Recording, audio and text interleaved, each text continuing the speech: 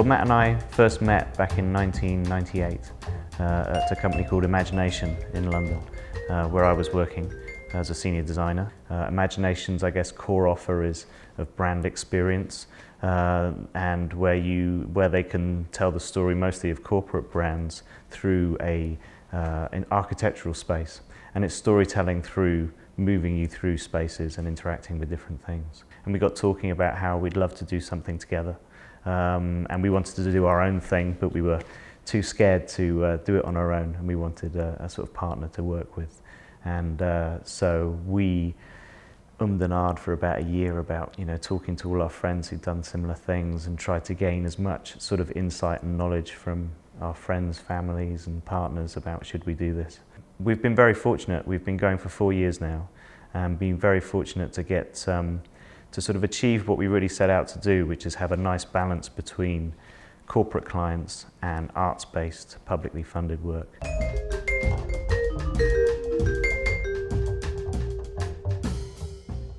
I think that relationship between people and objects uh, and how people relate to other people around them um, and the spaces in between them is the, is, is the connecting thread through our work. How do you engage people of different ages, different abilities, uh, in different subjects um, and, and, and communicate those stories well?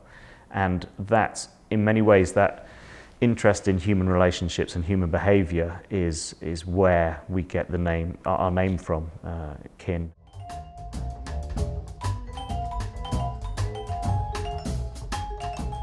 museums do have a real challenge um, of how they make themselves relevant and uh, uh, it's been a it's been a challenge for a number of years now that um, people can so quickly turn to Google and Wikipedia and get their stats and get their information about history and, and artifacts. Do I have to be, you know, the question of do I have to be in the presence of an object to really understand that object?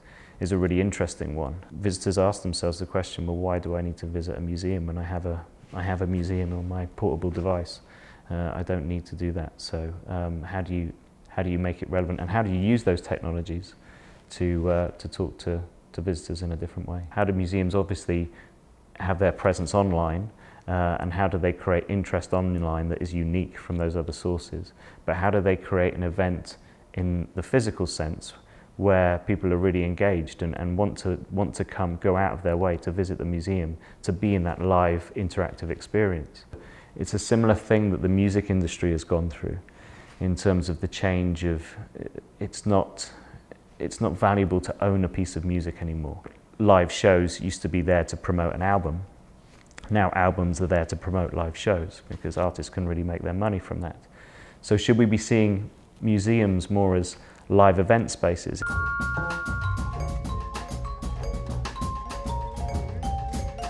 We've often taken pride in how we can combine old technologies and new technologies together. Um, we really believe in the, the uh, still the experience of the tactile and, um, and how through things like good object making and furniture making combined with digital technology as a, as a real physical object can, um, can excite people in, in different ways and get them in, involved in different ways. So it doesn't necessarily have to be the latest technology um, that, uh, that, is, that is the thing that you know, we'll be concentrating on the most. The word craft is, is as, as Matt, my business partner, was often uses as an example, is, is, is, a, is a word that isn't used in the digital concept, uh, in, in the digital world that often.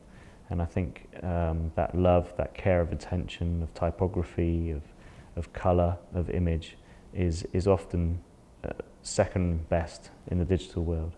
You know, going back to that original point of the, the, the thread between the work, I think it's uh, I think that's a that's a thread as well that uh, is is I hope is there in our work, and you know I hope is uh, that um, that passion for the detail comes across as well.